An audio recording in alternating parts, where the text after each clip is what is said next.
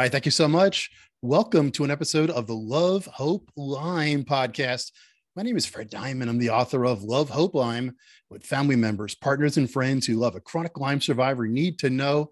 And of course, I'm the host of this podcast. Thank you so much for listening today. You can find the book on Amazon. Dr. Horowitz, I've made the e version of the book free for chronic Lyme survivors. If you'd like to get a free e version, the PDF, reach out to me via Facebook or, or LinkedIn or go to freddiamond.com and I will send it out to you. Dr. Horowitz, I've sent probably a thousand e versions of the book out free for chronic Lyme survivors. So here's the scoop. When I wrote the book about 18 months ago, I met some amazing leaders in the Lyme community doctors, medical practitioners, charity directors, and they've helped me to understand what living with Lyme is all about. On the podcast, I've invited them to share their insights into how you can support those you love.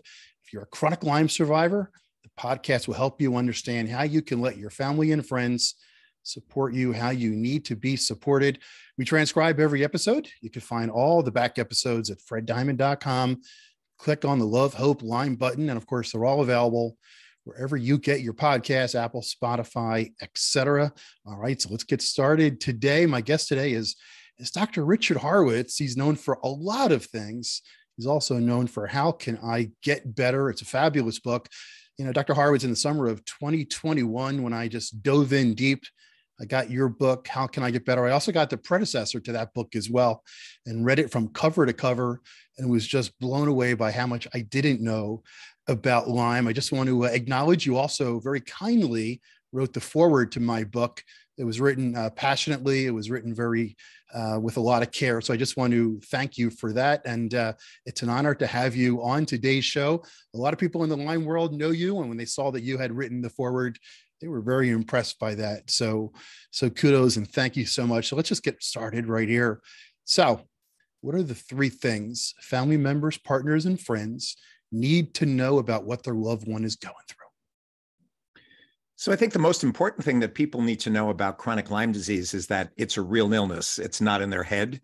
Uh, what we're starting to see now with people with uh, long COVID is they're getting gaslighted. And it's a very similar situation that we've seen with chronic Lyme for over 40 years, which is uh, people have a lot of symptoms. It's subjective rich, but objective poor, meaning you feel a lot of these symptoms, but you don't always find physical characteristics, right? Except if you happen to have a bullseye rash or something else that happens to prove you have it. So people need to know that, first of all, it's not in their head. This is a very severe illness. Um, a lot of these patients that I see are the worst of the worst. They've usually gone to 10, 20, 30 doctors. Um, the most I've ever seen is someone who went to 100 physicians before seeing me. And it's primarily because the general medical community um, still is confused at this point as far as the, the diagnosis and treatment of this very difficult disease. So um, I would say the most important things is it's not in people's head. It's a real illness. It's very severe. And especially when you're dealing with your loved ones, you need to know that they're going to have good days and bad days with ups and downs. So um, a lot of people, I think, get their hope up. They start to see, you know, some relief of symptoms with certain treatments that people may be doing, and then they may have a couple of days or weeks or even months sometimes where people crash. And you have to kind of get used to the idea that this is going to be a bit of a roller coaster ride until the provider that you're working with is going to unravel the illness um, into all the component parts. And as you mentioned with my book, you know, how can I get better? An action plan for treating resistant Lyme and chronic disease. I have a 16 point model. And we find that in this uh, 16 point model, the vast majority of my patients have at least eight or 10 of the MSIDS factors keeping them ill. So, you know, it's a long process. It takes time to unravel the illness, uh, to address each one of these abnormalities, whether they have Babesia, Bartonella. But but people need to know that it does take time. You need to be patient. You need to have compassion, right, for your your sick and suffering uh, loved ones. But that there is hope. That in fact solutions do exist, and we're coming up with better solutions pretty much every year as we're discovering new treatments for Lyme with uh, persistent biofilm forms and also treatments for Bartonella. Curious on how you got how you committed your career to this. So you're kind of a renaissance man. You've also written some uh, very uh, interesting science fiction book, which I read from cover to cover, and uh, you've been featured on some of the some of the um, some of the documentaries uh, that are uh, out right now on Lyme disease. And you know, uh, like I said, so many people have reached out to me when they saw that you had written the foreword to my book. And to be honest with you, Dr. Dr. Horowitz, uh, I didn't really know much about Lyme disease 18 months ago when I decided to learn more about someone uh, close to me to understand what they were going through. Could you give us just a brief overview on why you've committed your career to Lyme disease? And, and you know, there aren't too many people who go to medical school to become a, a Lyme doctor, you know, the term Lyme literate medical doctor. Uh, how do you get to this particular place? And give us a little bit of a peek into why you've committed your life and your career to this. So, in a sense, it was by accident. I had finished my medical training in Brussels after seven years of doing um, a seven year program in French. I then came back to the United States and did my internal medicine residency at Mount Sinai. And I was deciding at that point, after finishing my three years at Sinai, did I want to open up in Bayside, Queens, where my parents were? Uh, did I want to move upstate? I was being given an offer by Vassar Hospital to help me open up a medical practice. Uh, the thing that kind of convinced me to move upstate a bit, and again, upstate meaning just about two hours north of New York City in Hyde Park, was that at the time I had been studying with the Tibetan Buddhist lamas for uh, about 30 years. And I decided that I want to continue my meditation and my spiritual training. And there happened to have been a monastery and a Tibetan Lama who was literally a few minutes from Vassar Hospital. So it was kind of a nice a kind of mix for me of kind of continuing my spirituality, um, getting my meditation practice set, being close enough that I could still visit my mom in, in Whitestone. And uh, so it, it actually worked out quite well. But when I moved up and I asked Lama Norlha, um, you know, what do you think about my coming up here? He said, very good. Um, and of course, I didn't realize there was an epidemic of Lyme. So the, the reason I really got into it is just that there was a need for patients who were suffering. When I was finishing medical school, I had gone to Lama Gendon Rinpoche, one of my spiritual teachers who gave me refuge. And I asked him what was the most important thing he wanted me to know getting out of med school. And he said, compassion, put yourself in people's shoes, do for them what you would want done for yourself, and everything will go well. And, you know, although I would have considered myself a nice person and a good person, I'm not sure after kind of delving into Lyme with all the controversies, because when I started getting into this, which I moved up here in 1987, um, you know, it, it, was really not well known what was going on. There were essentially two standards of care at that point. The IDSA and other doctors, I, hadn't been formed. I was one of the forming uh, founding members, but there was a lot of confusion out there, and the medical boards were quite aggressive, going after doctors who did not follow IDSA guidelines. So um, it was a bit of a mess actually early on. And the thing that kind of kept me going forward to help these patients was constantly the advice of my spiritual teacher of put yourself in people's shoes and do for them what you would want done. And, and basically, uh, it's worked out, I must say, extremely well over the years. In fact, my wife, who I had met um, several years after being up here, she ended up having chronic Lyme disease. Uh, she had been sick for 25 years before even seeing me. And my wife is now four years in full remission after doing the double dose dapsone protocol that I've published in the medical literature a couple of years back. So, um, it, you know, it, you could call it kismet, you could call it fate, karma, whatever you want to call it. I was in, I guess, the right place at the right time. And my motivation was such with my training that becoming a medical detective and an internist, I was kind of in the right place at the right time to help people. So you talked about the word compassion, one word I've heard a lot. Uh, I also, a lot of people know I do a, a, very popular sales podcast called the Sales Game Changers podcast. And one of the most popular words that we've had uttered in the over 600 episodes I've done that show is empathy. So touch on if if you only do one thing, again, family members, partners, and friends, if you only do one thing, what is the best way to support your loved one who's a chronic Lyme survivor? Um, you actually pretty much just nailed it. I mean, actually, the best thing to do is listen to them and have empathy because um, it's very difficult to put yourself in someone's shoes when they don't necessarily look ill right they they may look actually fine but they're chronically tired. They can barely get out of bed. They have terrible brain fog, aches and pains all over their body. You really do need to have empathy and compassion for your partner. Um, and you know, service. You know, in in in many traditions, serving others and doing the best to help others is really a form of spiritual practice and and a way to kind of elevate, in fact, your soul's mission. And um, for me, it it really has fit with who I am. And fortunately for myself, you know, it was easy for my wife because we kind of fell in love the minute we met. But it really was not easy being with someone who had chronic Lyme, who was sick, who could not, you know, necessarily shop and do all the things that I would have hoped, you know, sometimes it would have gotten help with because she was ill. So, you know, listen carefully, listen to what they need um, you, you, have to trust your partner. You have to know that what they're asking you for is real. Um, it's not some form of manipulation. They really are ill. Um, and uh, unfortunately, a lot of healthcare providers know themselves because their wives and family members have gotten sick. And many of the doctors I've trained themselves have gotten Lyme. Right. So I think they even become better practitioners because they know firsthand what people are going through. And it's much easier to develop empathy and compassion once you yourself have experienced this illness. So I, would say that probably is the most important thing is just put put aside your prejudices, just listen very carefully with an open mind um, and just you know figure out how can i help how can i make a difference how can i support you that that's probably the most important thing you could do no that's a great point i mean one of the quotes i've seen a lot is you don't get it until you get it but obviously you don't want to wish Lyme upon anybody. Uh, what shouldn't they be doing? What are some things that you see people doing, uh, spouses, partners, friends, whatever it might be, that they're doing that you say to yourself, you know, I wish they wouldn't be doing that, or that your patients have said to you, you know, I'm glad that he or she is paying attention, but I really wish that they wouldn't be doing this. I think the most difficult thing for um, someone who is living with someone who's ill is to try and kind of create a framework and a box for them that you need to do this. You you must do this. Come on baby. You got to get out of bed today. You, you got to go to work. You got to exercise. Like you want to kind of push them out of the right motivation right to do things that you think will be best for their health but that's kind of where your significant other needs to be kind of coordinating with your healthcare practitioner and finding out from the doctor who's treating them right? What are they really capable of doing? Where where should i push? Where can i put like a gentle hand in your back? Very gently to say please darling try and get up today and maybe just take a 10 minute walk. Like you have to understand that it's got to be a gentle push it can't be anything in your mind that you want them to be better quickly and you're just going to kind of force the issue. I think that's probably the worst thing you can do for people.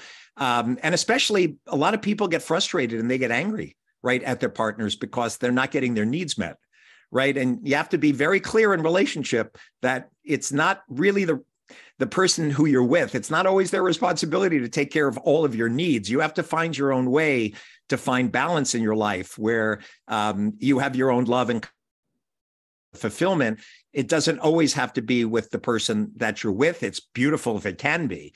Um, but you can't always expect that to happen and and know that you know sometimes in life we're going to be giving to others more than we're going to be getting back the balance in relationships may not always be 50 50 at least for a while but in a sense karma is perfect whatever you give is going to come back and whatever beautiful things and support and love and um, you give to someone else it's going to come back to you in one way shape or form but you need the big picture in mind. You can't you can't do this day to day and just kind of be frustrated and be angry. You really need to keep an open mind and look at the big picture that it's going to take a while to get over this illness That's a great point. I mean, uh, I run a business and I'm very prescriptive in how I need to manage the business. And uh, you can't manage someone else's healthcare that way and say, okay, you know, in two weeks, you're going to be at this particular place because this is the plan and the plan's going to get us there. So we're talking today with Dr. Richard Horowitz.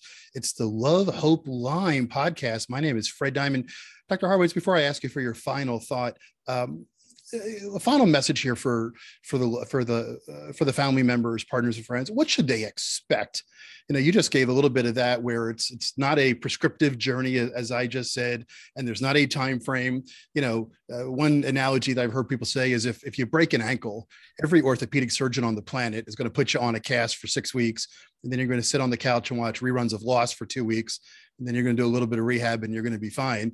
Lyme doesn't work that way. So give us some more insights into what should family members partners and friends uh, expect their loved one's journey to look to look like as it continues I mean, most of the time, what people can expect is kind of a roller coaster ride because people are going to have good days and bad days. Uh, they may have a couple of good days or weeks where they're really feeling well, and then may have a horrible Herxheimer reaction when you're killing off the spirochetes or, or the Bartonella flaring up. So it's it's really important to understand it is going to be a roller coaster ride. Don't don't expect like just because your partner is well one day they're going to wake up the next day and feel exactly the same because you can start to get your hopes up, and then your hopes get dashed because why aren't they well? Why is it taking so long? Um, depending on how long they've been sick, how many overlapping MSIDS factors, how bad their Bartonella babesia is, um, how well they tolerate persister drugs like dapsone disulfiram. There's a lot of reasons why people are going to have these ups and downs, but you've just got to expect it's not going to be a straight line from you know A to B to get these people better. And I, I think it's important to kind of realize this journey is a it's a long term journey. For some, by the way, I've gotten patients better in two months. They've done a dapsone protocol. They had a couple of things wrong with them, and they're great. And for others, it can take years just because they've been sick for so long or they have so many like difficult overlapping factors. I want to ask you one final question that was just uh, reminded of myself before I ask you for your final tip.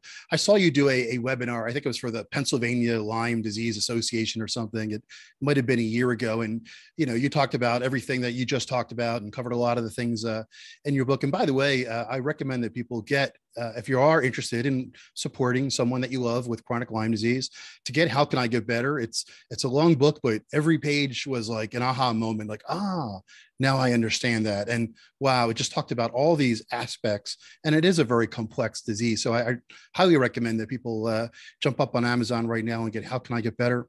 When I heard you do that webinar, you mentioned at the very end it was almost a throwaway line, and, and our discussion right now just trigger this. You said, and if you don't address childhood trauma you're never going to recover. Uh, could you talk about that in not too long, but in the concept context of what we're talking about here for family members and friends? Why did you say that? How critical is addressing childhood trauma to be able to recover from such a disease as Lyme? And then we're going to wrap up, and I'll ask you for your final thought. Well, uh, the patients that I see who are chronically ill, who are really, really ill, most of them have had childhood trauma.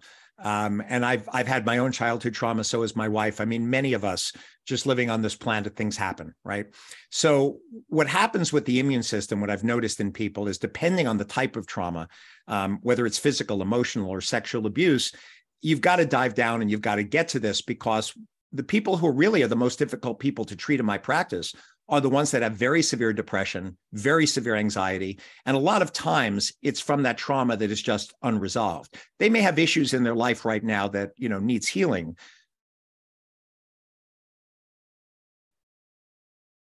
Bond correctly, as if people's immune system says, well, there must be something wrong with me. I don't deserve to get better. And so I, I, suggest that people do things like EMDR, cognitive behavioral therapy. There's lots of good now vagal limbic retrainings with the Annie Hopper dynamic neural retraining, the Gupta techniques, the Rosenberg techniques. There are many different ways that people can heal from trauma, but you need to know that it's an essential part of the equation because of the way the mind body works. And you know, you don't have to be kind of new agey at this point to understand that your immune system, the way it functions, this has been, you know, published in medicine in good journals. Your immune system is directly going to respond, right, to what kind of trauma you've had.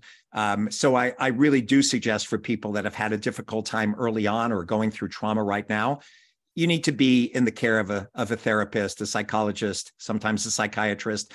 Um, and there are things you can do at home with meditation, vagal and limbic retraining, um, but don't leave it aside. Don't think, oh, it's just taking antibiotics or herbs from my Lyme and and I'm going to get better. It's really an essential part of the equation to get people better. once again, I want to acknowledge you, Dr. Horowitz, for just an amazing career in helping probably hundreds of thousands of people, not just with your books, but with your practice, with your speaking, your support of, of all the documentaries that are out there, the quiet epidemic, et cetera. And uh, just, uh, I just want to acknowledge you for, for what you've done in your career to, to help so many people uh, heal get more out of their lives and and find love like we talked to him in my book uh, love hope Lyme with family members partners and friends who love a chronic lyme survivor need to know. Thank you for writing the foreword. Give us a final thought something to leave us on here as we wrap up today's podcast. Um really my final thought is just i would advise people to get your book fred